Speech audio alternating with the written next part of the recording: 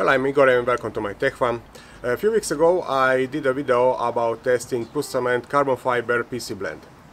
And it is great material, but in mechanical testing it has one very weak point and that's the layer adhesion.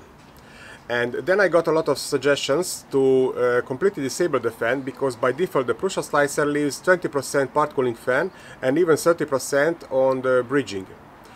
So I will reprint those uh, test specimens printed vertically for the layer adhesion test with smallest cross-section area 4x4 millimeters. Uh, I will print everything on 295 degrees Celsius because also I got a suggestion to raise the temperature and I will completely disable the fan and of course I will print everything inside the enclosure. I ran printed vertical test objects on 295 degrees Celsius for the layer adhesion test and this time I printed on textured PEI sheet uh, without any glue stick or any other adhesives and I completely turned off the part cooling fan and I close the door now so inside the enclosure the temperature is uh, 48 degrees Celsius. Well, it's printed, but the smallest cross-section area is not nicely squared like with the PLA and the regular cooling.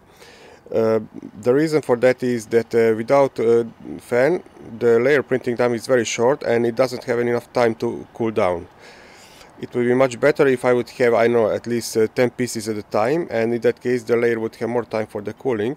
But uh, it's printed and uh, I will test it as it is now and I hope I will get much better layer adhesion.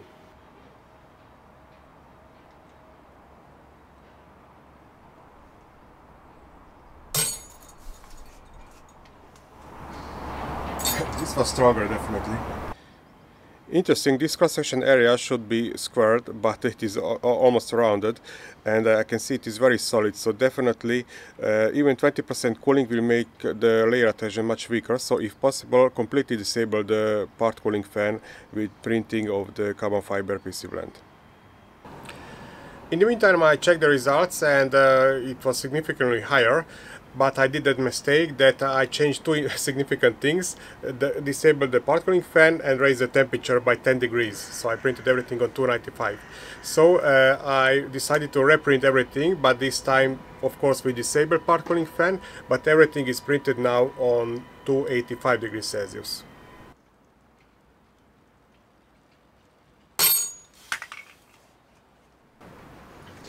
This was wrong too. The only difference between these objects that this one is printed on 285 degrees Celsius and this one on 295 degrees Celsius. And I can see these cross sections are, are a little bit more rounded compared to these ones. Theoretically they should be squared. So definitely uh, 295 is uh, very high temperatures for printing this kind of overhangs or small surfaces without any part cooling. And this is the result. So these two rows are from my previous video. And here you can see on the graph. So uh, PC blend uh, printed on 285 degrees Celsius with the part cooling broke on approximately 16 kilograms. Annealing helped a little bit, but this is not big difference. And here you can see printed objects on 285 and 295 without any cooling. And you can see significantly improved uh, performance in the layer adhesion test. And now short conclusions where basically the numbers tells you everything, but uh, definitely if possible then you should turn off completely the part cooling fan. Of course pay attention that you don't have uh, too big overhangs or bridging. In that case uh, at least I know 10 or 15% part cooling fan would be recommended, but definitely uh, without part cooling fan the layer adhesion is much better.